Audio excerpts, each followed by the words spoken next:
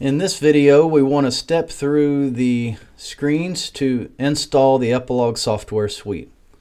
So to do that, I'm going to open up my browser. And then I'm going to go to the Epilog Laser website, www.epiloglaser.com. At epiloglaser.com, we're going to slide over to the support and service. And then we're going to go down to driver firmware downloads, slide over to the Fusion Maker Edge Pro Galvo Lasers downloads.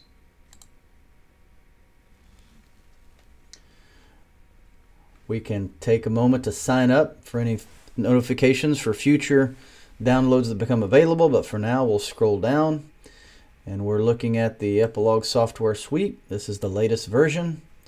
So we can click to download that either here or up here.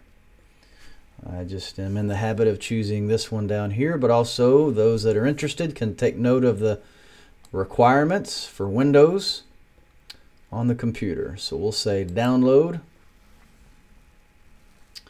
And I'm just going to let that put that in the downloads folder. That's the Epilog software suite.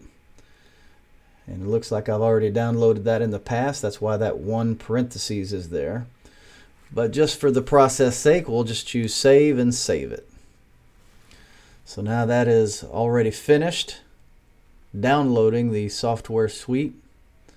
And I'm going to click on this folder icon and see if that opens that up to the folder. And it does. So in our downloads folder, I've got highlighted the software suite. At this point, with it highlighted, we're going to choose Extract All. And what that does is allows us to extract all those files to a folder that we can use. So that won't be the zipped file, but it'll be a folder. So we're going to extract that out to that folder.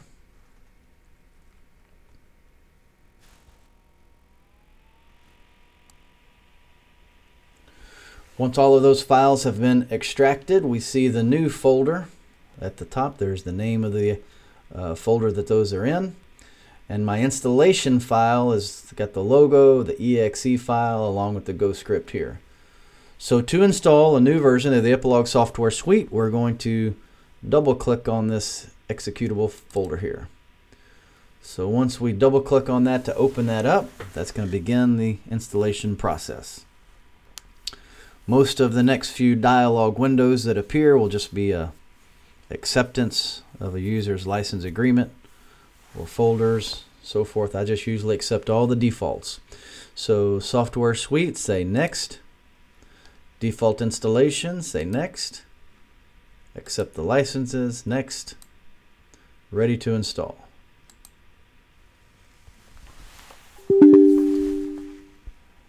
Windows Security User Account Control kicks on. We're going to tell it to say yes.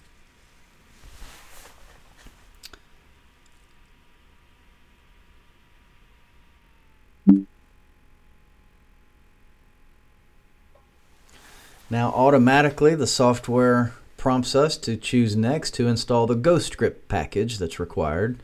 So we say next, accept the license, and next. Completing. There it is finished. It has completed the installation of the Epilog software suite wizard. It's going to ask us if we want to run that software suite now. I'm going to tell it no. Wouldn't hurt it if it ran it anyway, but I'm just in the habit of making sure I click finished, closing all the windows, and then proceed from there. So I'm going to close down this window and then close down my Explorer downloads window. I'm back at the website and I'm going to go ahead and close that down as well. So on our computer, we now have the Epilog software suite installed.